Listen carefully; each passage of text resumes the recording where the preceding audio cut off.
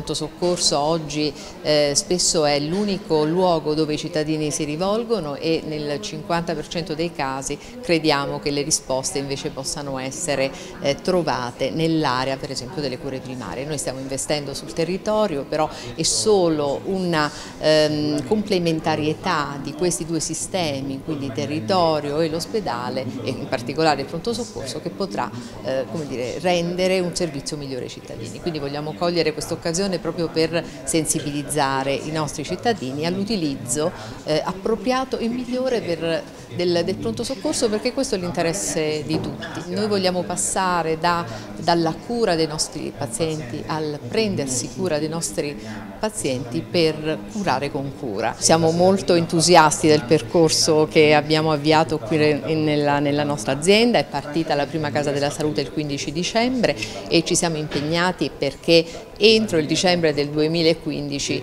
parta la seconda Casa della Salute che è prevista nella nostra programmazione e eh, nella città di Rieti. È mm, un'occasione importante perché mm, l'esperienza che abbiamo accumulato nella progettazione e realizzazione della Casa della Salute di Magliano ci aiuterà molto, ma il modello che noi proporremo su Rieti sarà diverso, sarà sicuramente diverso perché un contesto urbano eh, prevede delle eh, caratteristiche diverse e forse avere una Casa della Salute salute a Rieti, che è proprio la sede dell'ospedale e quindi del pronto soccorso, forse ci aiuterà a chiarire meglio i percorsi ed essere ancora più eh, disponibili alla, ad accogliere i nostri cittadini nel, nel luogo giusto.